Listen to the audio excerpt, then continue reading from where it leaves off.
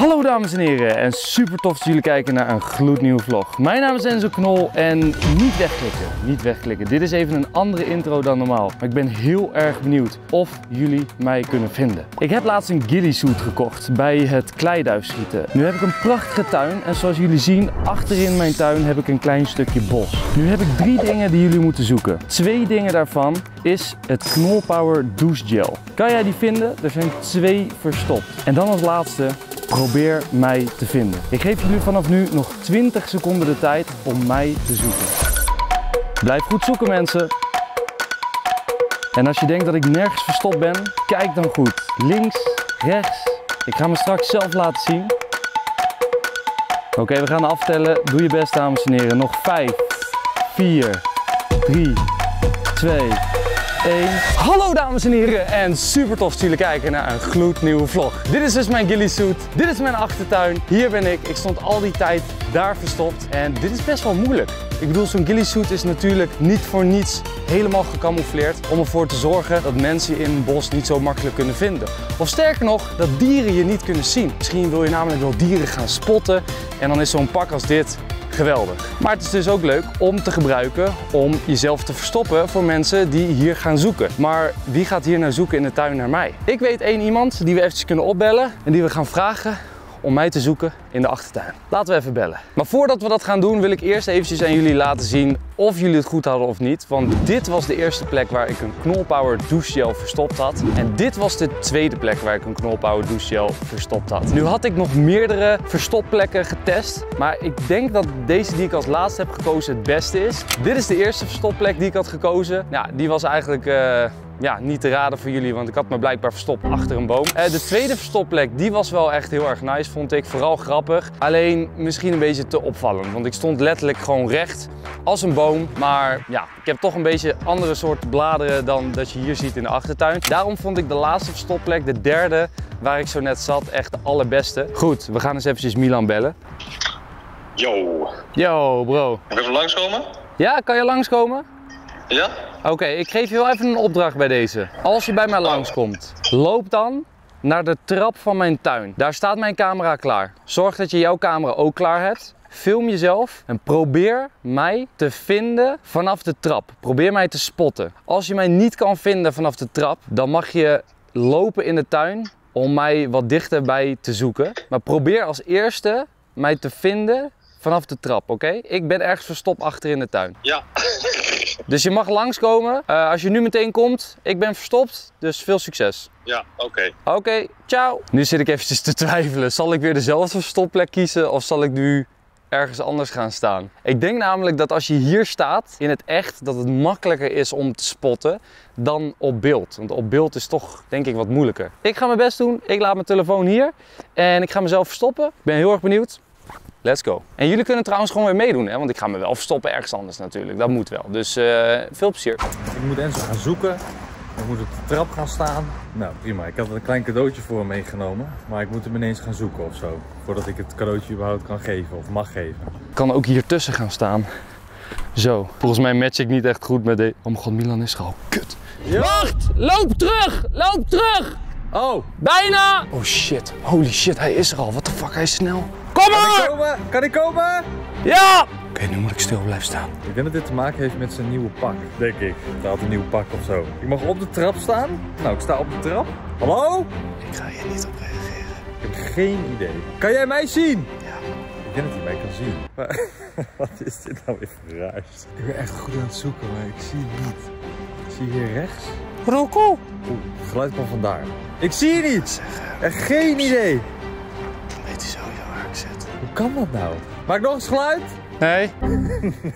nee, zeg ik. Ik heb geen idee waar je zit. Wow, dat dit zo goed werkt, had ik niet verwacht. Ik heb dus het gevoel dat hij daarachter zit, achter dat peace uh, teken. Maar dat denk ik ook niet, want ik hoorde net Daar zit ik niet. Ik zie je! Bij die boom, of niet? Ja! Wow, dat duurde lang! Wat bizar, ik kon jou zo goed zien de hele tijd. Ik zag jou niet. Ik ben wel blij dat ik eruit mocht, ik ben echt vaak gestoken door prikkelbosjes. Oei, oei. Kijk ook hoe je eruit ziet, gast. Het is bizar hè dit? Gewoon op mijn slippers? Ja, ja, dat zie je sowieso niet. Maar heb je de twee douchegellen ook gevonden? Nee. Oh, daar? Bij de die, was, boom? die was niet zo heel moeilijk. Ja, die, die. Oh, en daar. Hey! Oh, dat was ik niet eens aan het zoeken. ik was naar jou aan het zoeken. Zo, dat duurde lang. Wat een vet pak, bro. Ziek hè? Echt heel cool. Dat was eh, nog ineens zo heel duur eigenlijk. moet Maar ik moet heel eerlijk zeggen, ik dacht dus dat jij tussen die eh peace teken in zat. Omdat ik het daar geluid hoorde. Maar toen jij nog een keer praatte, dacht ik, oh, hij ligt op de grond. En hier tussen, eh, bij mijn Hier. vinger... Kijk dan. Ik denk al, waarom prikt het nog? Oh, Kijk. Wow, deze zijn scherp. ik dacht bij... Maar dat is een kabouter, zie ik nu. Ja, er staat een kaboutertje. Ja, Ja, dat is, dat is heel wat anders. Bizar. Maar weet je, toen ik jou schreeuwde van ga weg, ga weg. Ja, Ik had de grappigste plek ooit. wat dan? Oké, draai je om, kijk die kant op. En dan ga ik jou laten zien waar ik eerst stond. Je had me meteen Oké. volgende week zeker. Oké, niet kijken. Nee, ik kijk niet. Ja.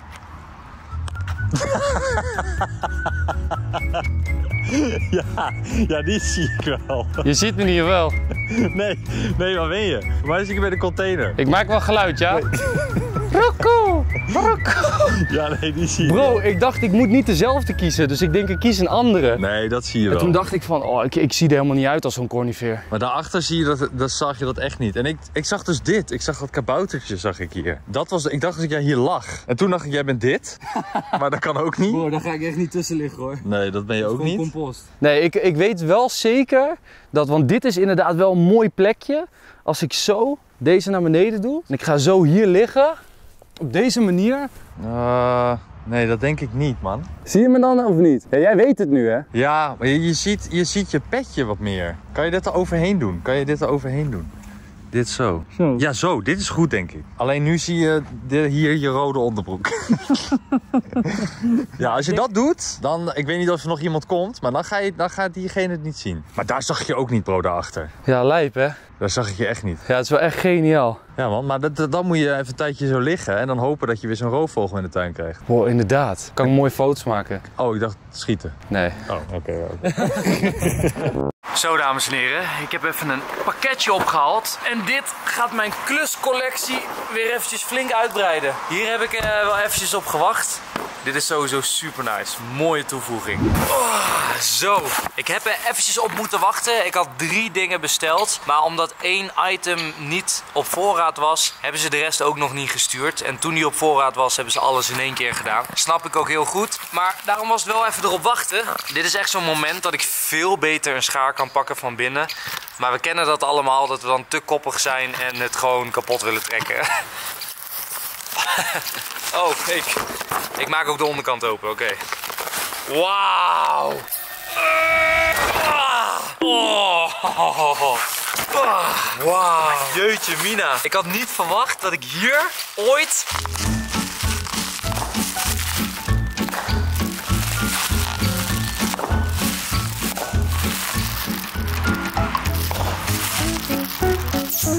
Wat? Wat? Goed, eh, genoeg mee gespeeld. Ik had nooit verwacht dat ik hier zo super blij mee zou zijn. Dat ik hier hyped voor kon zijn. Maar serieus, dames en heren, check even. Wat een gruwelijke dikke boren zijn dit. Oh my god, ik heb gewoon een boor van 12 mm. Nou, ik nooit durven dromen, man. 12 mm, hoe groot is dat wel niet? Wat hebben we hier nog meer? Zo! Moest even kieken, joh. Dikke klopboor.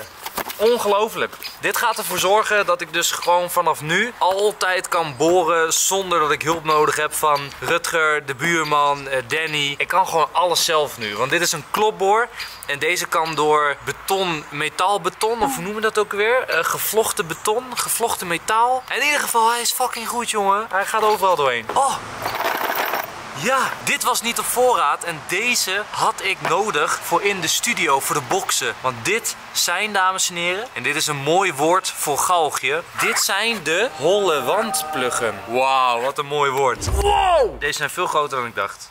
Echt veel groter. Deze gaan we dus sowieso vandaag gebruiken in de studio. Om te installeren wat we gaan installeren. Moeten installeren. Eh, te lang uitgesteld installeren. Je snapt het. We gaan het installeren. Het gaat gebeuren. Vandaag. Klaar. Ik wil er klaar mee zijn. Nu we alles in huis hebben, moet het ook gewoon. Maar we doen hem toch voor nu nog heel eventjes dicht. Maar het gaat gebeuren. Vandaag. Sowieso. Sowieso. En we gaan deze even openknippen. Want ik ben heel erg benieuwd hoe zo'n boor nou precies boort. Alleen hoef ik niks te boren, eerlijk gezegd. En ik kan wel dom in dit karton gaan lopen boren. Maar ja, het is geen ka- kartonboor. Dat bestaat ook helemaal niet. Wie gaat er nou boren in karton? Goed. Deze man heeft nieuw gereedschap en ik ben blij. En dan nu, voor het volgende, gaan we iets heel erg tofs pakken. Even een zakje uit de garage hier. Deze zak gaan we namelijk eventjes meenemen achter in de tuin. Of nou ja, achterin. Ja, ja, het is wel de achtertuin eigenlijk. De aanmaakblokjes. Juist. Maar wat gaan we aanmaken? Nou, ik kan jullie vertellen. Was bijna perfect. Hoi was gekomen? Ze doet de bodywarmer aan, capuchon op. Ja, het miezert. het miezert een beetje. Dus misschien niet de meest ideale setting nu op dit moment. Want er is verder geen overkapping. Maar we hebben iets nieuws binnengekregen. En dit is wel echt super tof. Want heel erg veel mensen die vroegen zich af. Enzo en Myron. Wat gaan jullie doen bij jullie huis met die plek? Wat, wat is dat precies? Wordt dat een zwembad of zo? De jacuzzi? Maar toen hebben we al vaker gezegd. Het wordt de, de fire pit. De, de, de vuurplek. De zitkel. Ja, dat was nog niet helemaal perfect aangekleed. Maar op dit moment wordt dat steeds beter. Zoals jullie zien, er ligt daar nog een klein stukje verlichting. Wat uiteindelijk hier aan de onderkant vast wordt gemaakt. En in het midden hebben we dus een ehm, ja, vuurschaal als het ware. En deze vuurschaal, dames en heren, die is met de hand gemaakt. En die is geleverd door Fraaie Wonen. Shout-out naar jullie. Dankjewel voor het leveren van deze prachtige vuurschaal. Want dit is dus precies wat we in gedachten hadden toen we deze zitkel wilden laten maken. Dus ik ben heel erg blij uh, dat hij hier nu staat. En laten we hem even testen. En juist met de regen is het eigenlijk uh, wel gezellig, want waarom ook niet? Ik bedoel, je kan prima een vuurtje maken met zo'n mega vuurschaal als het regent. Als, als het hout maar droog is. En volgens mij is dat droog zat. Dus laten we even de mouwen gaan opstropen. En even het beste van mijn scouting kwaliteiten naar boven halen om dit vuur aan te steken. Zodat mijn vriendin het niet koud krijgt. Welkom bij een tutorial. Oh, dat is best vet. Wow, nice. Oké, wat was de eerste gaan? Ken je die man met die baard op TikTok live? Die zo'n soort pan heeft, maar dan andersom. En dan in het water staat. Soms gewoon echt super koud. Baard een beetje ja, bevroren met stukken ijs erin. En dat hij dan zo... Nee. Nee. Ik ken die niet. Shout-out naar de mensen die weten wie ik bedoel. Maar dat is echt grappig. Oké, dit is een goede vibe in ieder geval. Uh, anyways, we gaan even een soort van... Uh, ja, hoe noem je dat? Ja, ik weet niet hoe ik het moet noemen eigenlijk. Pyramide bouwen. Ja, zoiets. Kijk. Een soort van alle matties bij elkaar. Kijk, dit is nice. En dan nu doe ik die aanmaakblokjes in het midden. Zoveel. Ja, want we hebben heel veel van die zakken.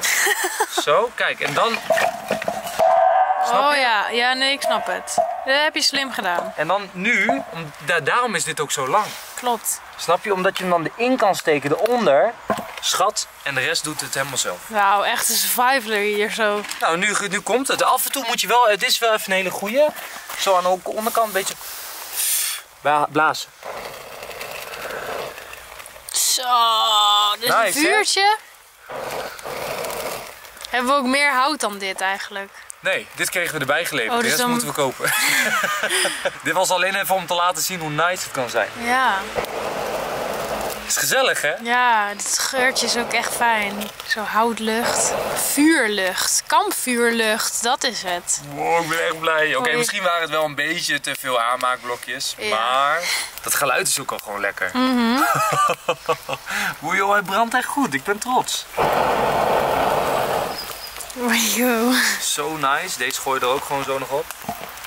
Hoppakee. Gewoon alles in één keer in de fik. Alles in één keer in de fik. En dan uh, daarna dan kopen we even hout. En dan ga ik eventjes nadenken. Ik denk dat we dan hiernaast of zo even een klein plekje maken. Misschien hier ergens of zo. En dan overkapping, klein stukje tot hier, waar we dan het hout stoppen. Klopt, het moet wel droog staan namelijk. Ja, want dat hout moeten we kunnen pakken. En dan, ja, snap klopt. Je? Want ja, anders dan loop je elke keer naar de schuur. Maar dit, dit kan wel een mooi plekje zijn hier. Klopt. Goeie. Ja, je bent net op tijd man. Zo.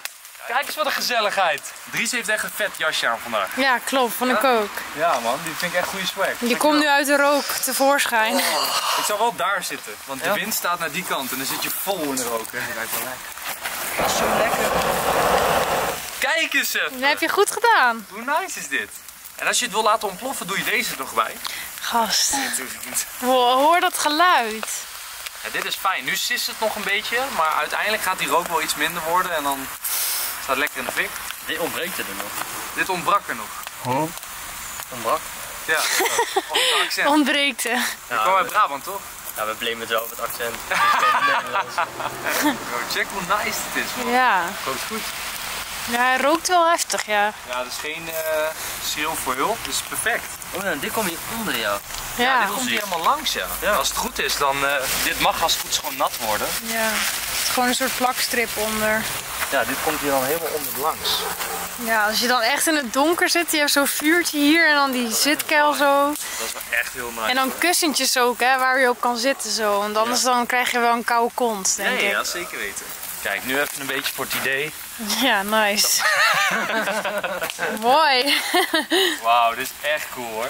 Zo, lekker vuurtje. Oh, je voelt ook die hitte helemaal. Perfecte timing voor... eh, ja, het is nu ook gewoon droog, dus nu is het lekker. Ja, En nu tot rust komen. Nu gewoon lekker naar het vuur kijken en eh, stil zijn. Ja.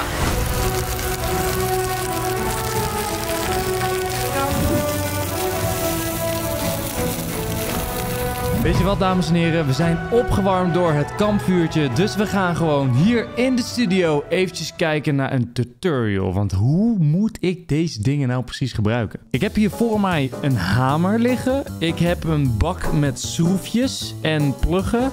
En ik heb een rolmaat. Ik denk dat ik deze dingen nodig heb. Ik weet het niet zeker. We hebben hier voor me een mooi filmpje van Woezet. Ik heb geen idee. Laten we even kijken.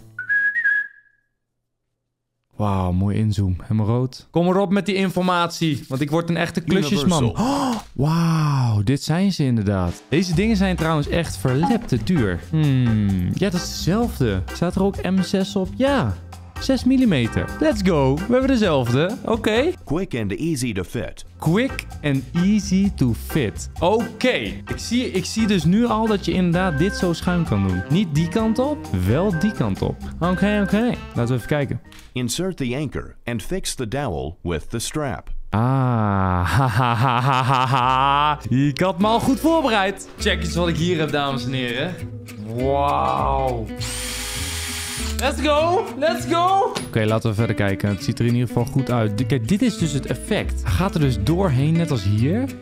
En dan gaat hij aan het eind... Maar hoe gaat hij dan recht? Hij duwt dat dopje daar. Now open the strap and tear it off, and you can begin screwing in your component right away. The Oh. dowels can support weight immediately. Oh, je moet dat eraf trekken. Hè? Dus je doet hem er zo.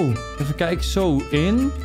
Dan zo. En dan duw je deze naar voren. En dan trek... What? Wauw, wie- welk geniaal heeft dit bedacht?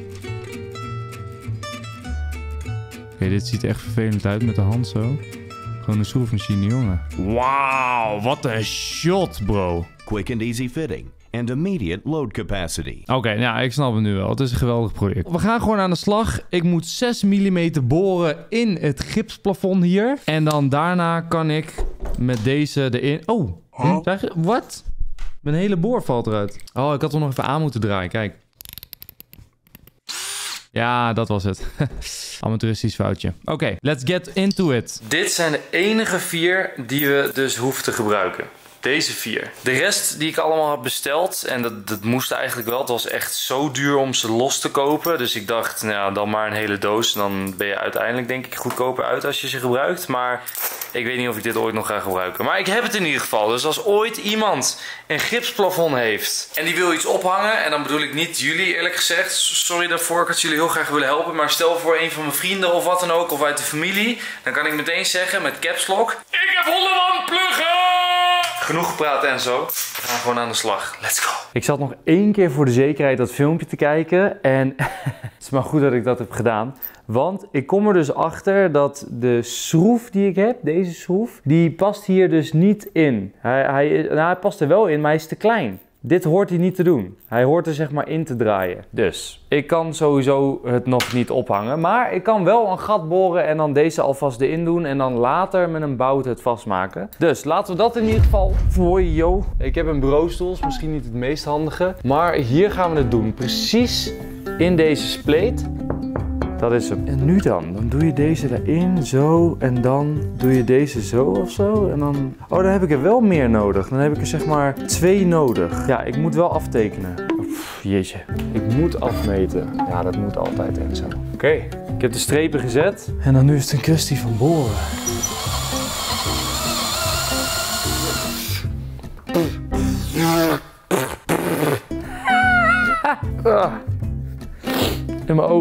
Allemaal voortanden.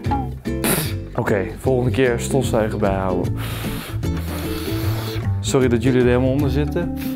Waarom heb ik het ene moment het idee dat ik super slim ben? En het andere moment heb ik echt het gevoel alsof ik de grootste oen ooit ben. Dit gaat nooit passen. Nee, dit moet veel groter zijn. Dit, dit, dit klopt niet. Die boor moet groter.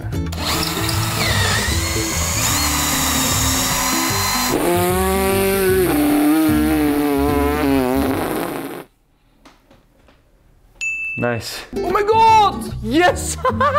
Hij zit er doorheen. Oké, dan deze kan je eraf trekken of zo. Hoe ging dat nou? Oh ja, kijk zo. Oh my god, hij zit! Hij zit! Boom, hij zit. Oké, eentje zit. Wauw, nu die andere. Oh oh, hij is afgebroken. Shit. Die zit nog goed. Oké, dan moet ik gewoon een ander gat boren. Oké, een nieuw plan, dames en heren. Laten we die gewoon zitten, die zie je toch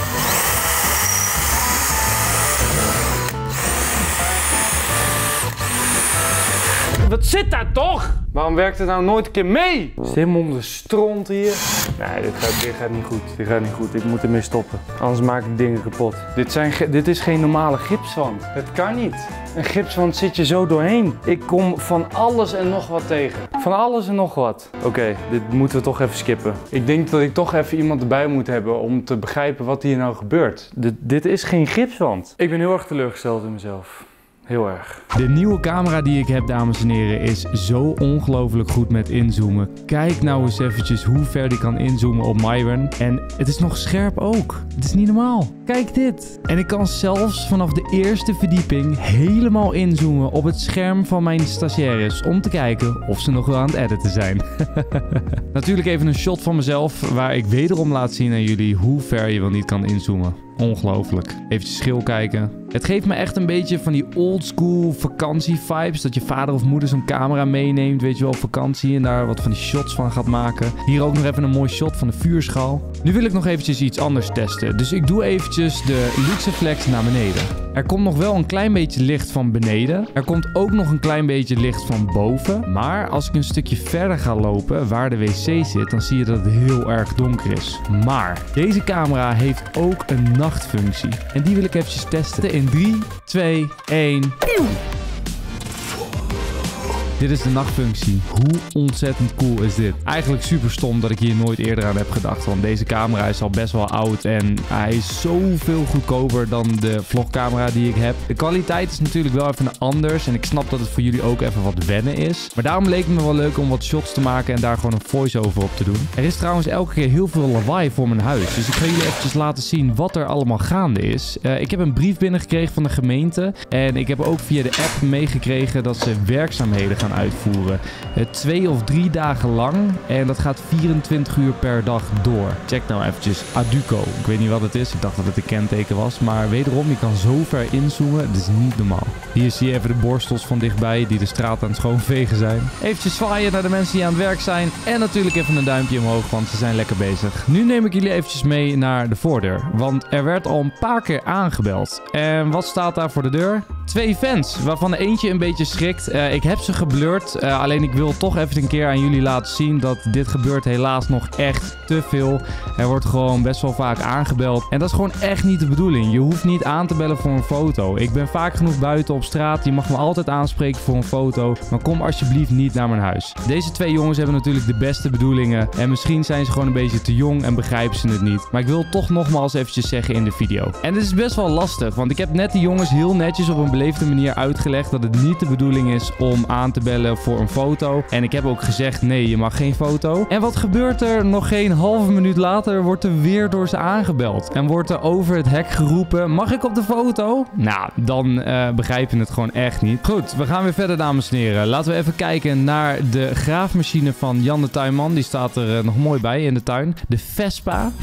Wat een mooie scooter is dat. En natuurlijk de Malaguti, mijn favoriete. Ongelooflijk. En ik neem jullie nog eventjes mee naar de tuin. Namelijk de dikke John Deere. Die heeft echt een prachtig plekje. Spotlightje erop. Heerlijk. En de dikke vette piece natuurlijk. Maar ik wil jullie ook eventjes laten zien hoe die nachtvision eruit ziet in de tuin. Dus dan komt hij weer in 3, 2, 1. Tjoem. En het nachtvisie zit erop. Night vision.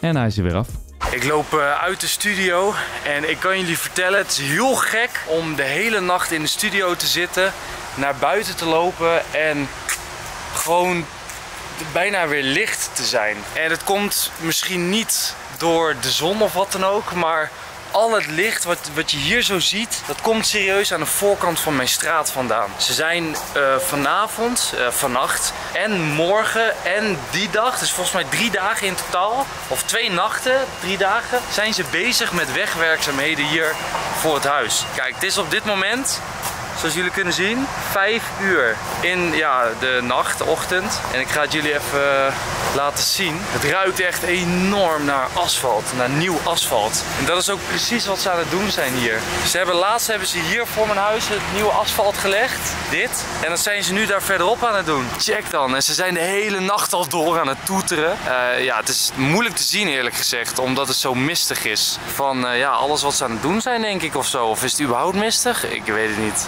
Misschien gewoon door de wegwerkzaamheden en met alles wat hier gebeurt. Maar ze zijn in ieder geval druk bezig. Shout-out naar de nachtwerkers. Ik uh, ruik dat, dat teer ruik ik ook helemaal. Ze zijn van alles aan het schoonspuiten met een hoge drukspuit. Dus uh, er gebeurt echt van alles.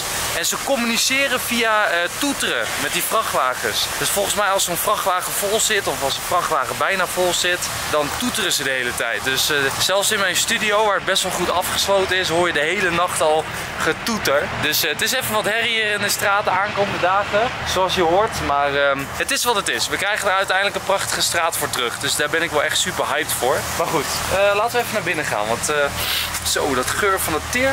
Jeetje. Myron die is uh, al lang aan het slapen. Dus ik moet even een beetje zachtjes zijn. Ik ben even een beetje een nachtdier geworden. Door nog tot zo laat wakker te blijven. Ik heb trouwens iets heel erg cools. Ik kwam dat laatst tegen in een laadje tijdens het opruimen. ik ga het jullie laten zien. Ik heb het wel gezien op internet. Maar ik heb het nog nooit zelf gebruikt. Ik heb hier dit ding en die kan je aanzetten. Maar je hebt daarvoor een touw nodig. En volgens mij, ik heb geen tutorial gekeken of zo, maar als het goed is, moet ik dit hier tussen doen. Dus letterlijk gewoon dat touw hier tussen en dan hem gewoon aanzetten. Volgens mij is dat het enige wat ik hoef te doen. Dit. Zo. En dan gewoon aan. Komt ie, oké? Oh, dat ging niet heel lang goed. Oké, okay, hij is een beetje in de knoop. Oké, okay, nice. Ik heb hem weer. Als ik serieus voor zoiets simpels al een tutorial moet gaan opzoeken, dan... Uh... Oh, bijna. Hoe doen die kinderen dat? Nou. Ik word helemaal lijp. Ik ga het opzoeken. Air Magic. How to use. Je hebt serieus een schroevendraaier nodig? Oh my god. Doe ik? Wat, doe ik? Ik moet dus deze twee schroefjes eruit halen. En dan kan ik het touw er doorheen doen. Anders blijft hij niet zitten. Dat is op zich best logisch, denk ik. Ah, kijk, je ziet daar ook een, uh, een stukje voor touw. Ik denk dat het zo goed is. Kijk, ik heb hem op deze manier er nu tussen gedaan. Dus hij kan nu ook niet meer weg. Zie je? Dus hij blijft er nu tussen zitten. Dus als het goed is, als ik hem nu aandoe, please doe het. Ja! Ja! Wow! Wat? Dit is wel cool. Hè? Check dan. Wee.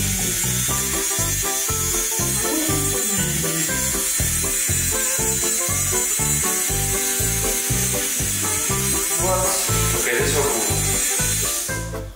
Is eigenlijk. Ik heb nog een ander kleurtje blauw. Kunnen we de volgende keer gaan proberen? Oké, dit ga ik dan morgen aan uh, laten zien. Ik denk eerlijk gezegd als ik deze hier op de aanrecht leg, dat ze hem zelf wel gaat gebruiken al. het is wel echt cool, maar je bent er wel snel klaar mee denk ik.